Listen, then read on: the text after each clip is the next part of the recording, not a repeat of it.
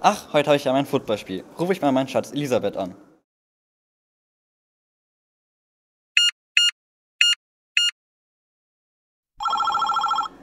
Ach Gottchen, ein Anruf? Ist ja Knorke.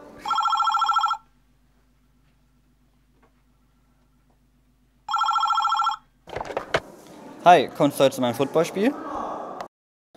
Ja, Schatzi Pupsi, bis dann. Ich liebe dich. 哦哦。